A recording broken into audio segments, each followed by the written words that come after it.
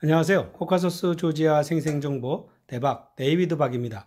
자, 이번 시간에는 어, 조지아에서 한 달 살기 또는 장기 거주를 할 경우에 가장 필요한 다양한 앱들에 대해서, 그러니까 즉 어플들에 대해서 알아보는 시간을 가져보겠습니다. 일단 한국에서 준비도 된 어플들과 조지아에 와서 어, 필요한 어플들, 즉 현지 번호가 있어야지만 가능한 어플들 이런 순으로 해서 말씀드리겠습니다. 먼저 한국에서 이제 항공권 관련된 앱, 뭐 많이들 다른 다양한 앱들이 있지만 저 같은 경우에는 이제 스카이 스캐너 어, 이 어플을 많이 사용합니다. 아, 그래서 호텔, 렌트카, 뭐 비행기 예약까지 주로 많이 쓰는 어, 어플이, 어플이 되겠고요. 아, 그 다음에 이제 어, 장기 숙소에 맞춰서 해야 되는 어플이 바로 또 에어비앤비가 되겠죠.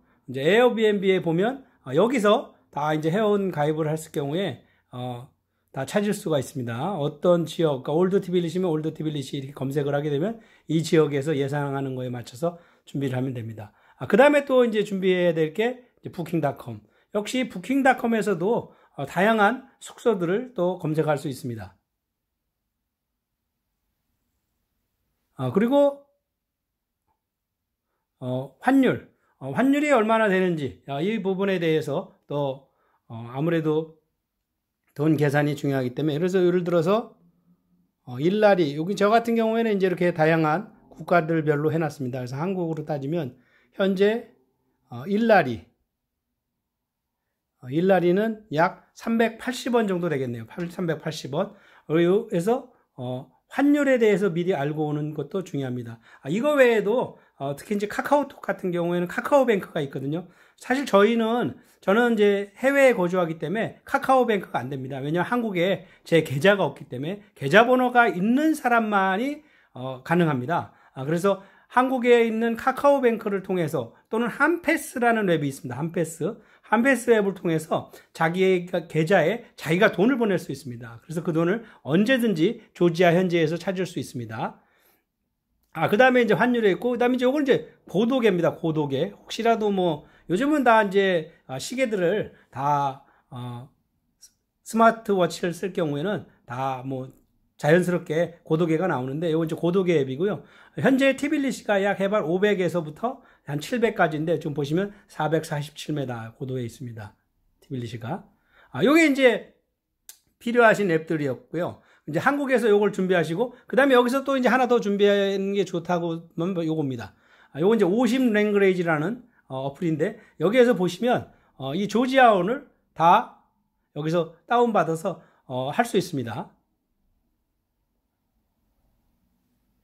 여기서 이제 조지아어도 제가 지금 뭐 어, 사용 안 한 지가 오래돼서 어, 다들 많이 지워지고 그랬는데 여기서 조지아어를 공부할 수 있고요.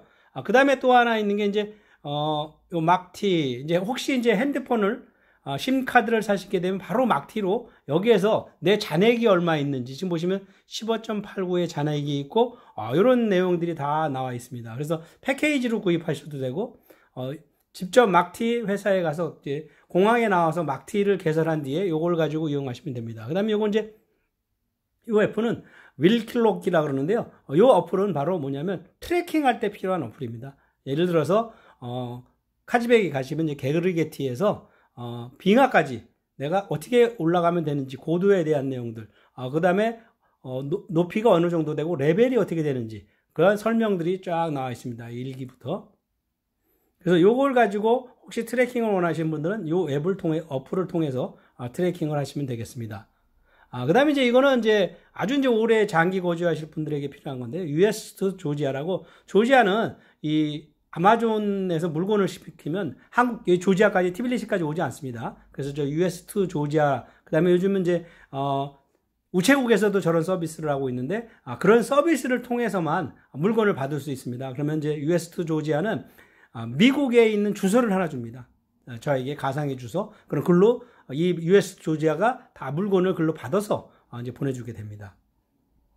그리고 이제 가장 중요한 이제 이동 수단이 되겠는데요. 요게 지금 이제 주로 이제 태, 어, 택시, 요게 이제 얀덱스하고 보시면 얀덱스 이렇게 돼 있죠. 그럼 자기가 이제 원하는 주소를 찍으면 그 지역으로 데려다 줍니다. 아, 근데 요때 이제 카드를 등록해서 사용하실 수도 있고 만약에 카드를 안 하시고 현찰로 주라, 주는 거로 이렇게 하시는 것도 어떻게 보면 더 편합니다. 그래서 저 같은 경우에는 그냥 카드 등록을 안 해놓고 그냥 그때 그때 맞춰서 현찰로 주고요. 카드로 주실 분들은 카드를 등록해 놓으면 카드에서 자동으로 다 빠져나갑니다. 그러니까 볼트와 얀덱스 두 개를 이용하는 이유는 어, 도착하는 시간도 좀 차이가 있고 어떤 경우에는 볼트가 안 오는 경우가 있고 또 어떤 경우에는 얀덱스가 안 오는 경우가 있고 그래서 두 가지를 같이 병행으로 사용합니다. 그리고 이제 요거는 이제 배달 어플이 되겠습니다. 월트 예, 이제 보시면 어, 여기 월트에서 모든 물건을 뭐 다 살 수 있습니다. 거의 장 보는 것까지 어, 이 그냥 뭐 배달료가 없이도 가능하고 아, 그거 외에도 뭐 KFC 다양한 음식뿐만 아니라 마트도 가능합니다. 마트 여기서 이제 이 다양한 뭐 슈퍼 마켓 예, 이런 배달도 가능하고요. 그 다음에 또 보시면 이제 여기 이제 글로보 예, 여기서도 역시 어, 글로버는 주로 음식 위주로 많이 합니다. 그래서 월트는 다른 마트들도 많고 뭐 와이너리에서 와인도 시킬 수도 있고 다양하게 있는 반면에 아, 글로버 역시 또 다양하게 그로소리들까지 그러니까 어, 뭐 음식뿐만 아니라 약국 그다음에 여기 PCR 테스트 같은 경우도 여기서도 부를 수도 있습니다. 아 그리고 이걸로 이제 또 배달을 또 시킬 수 있습니다. 배달. 그러니까 예를 들어서 한국의 택배처럼 그런 이제 글로버가 있고요. 그 다음에 또 하나 웹이 또 모이따네라는 웹이 또 있습니다. 모이따네. 아, 그리고 이 어플도 역시 어, 이렇게 구두일, 악으로, 어, 그 다음에 이제 이렇게 어, 시장 이런 데서 어, 음식, 음식뿐만 아니라 일반 물건들도 또 살 수 있습니다. 아, 특히 구두일 같은 경우에는 여기서 뭐 살 수 있고, 저희 여기 지금 나마지 코스메틱 나오죠. 여기 이제 저희, 제가 운영하는 회사입니다. 아, 여기서 또 배달시킬 수가 있고요. 아, 이제 이런 어플들이 있고, 그 다음에 또 이제 중요한 어플이 이제 혹시 이제 공항에 나가게 되면 이제 저는 이제 지금 여기 티빌리시, 아, 이게 이제 즈바르노츠 예레반, 아, 여기 바쿠 공항입니다. 그래서 이렇게 해서 티빌리시 공항에 대한 내용들입니다. 보시면, 아, 이게 뭐 카톡이 자꾸 들어오네요. 여기서 이제 flight. 해서 이제 쭉 보시면, 어, 지금 현재 들어오는 항공권들이 어, 항공들이 많이 늘었습니다. 어, 그래서 항공들 도착 시간, 그다음에 혹시 또 지연되면 지연되는 거에 대한 내용들. 여기 보시면 이게 이제 도착입니다. 그래서 on time에 오느냐, landing을 했느냐. 그래서 혹시 지인들이 온다든지 공항에 올 땐 꼭 이걸로 사전에 확인을 하고 나갑니다. 어, 그다음에 이제 예레반이라든지 몇몇 그 항공들은 어, 취소가 되는 경우도 종종 있습니다. 그다음에 보시면 이제 요거는 조지아 철도입니다. 철도. 철도 티켓을 이것으로 구매할 수 있습니다. 최근에는 근데, 어, 이게, 어, 지금 잘, 역, 발매가 잘 안 되고 있어요. 보시다시피, 어, 지금 거의, 어, 기차 발매가 거의 안 되고 있습니다.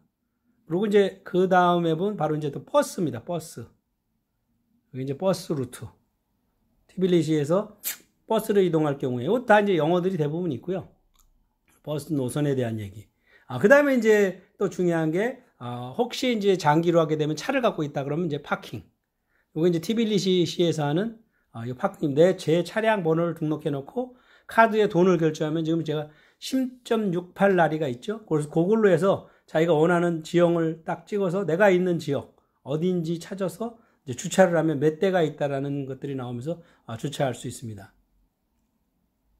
그리고 이제 요게 MyVideo라는 건데요. 요거는 이제 어, 조지아 내에서 있는 방송국들 그래서 라이브도 있고 어, 다양한 어, 방송들이 이걸로 볼 수 있습니다. 역시 또 이것도 영어가 가능합니다. 뭐, 어, 요, 요, 요 정도의, 그 다음에 또 하나가 또 있네요. 참, 요 Profi라는 앱이 있는데, 아, 그거는 청소하시는 분들을 부르는 앱이 있습니다. 청소. 뭐, 예를 들어서, 어, 지금 청소를 한다든지, 또는 뭐, 어, 어디 고장난 거 수리를 한다든지, 이렇게 할 때 가능한 Profi라는 또 앱, 앱이 있습니다. 어플, 어플이 있습니다. 이렇게 해서 제가 이번 시간에, 어, 이 어플들에 대해서 안내에 대해서 하는 시간을 가졌는데요.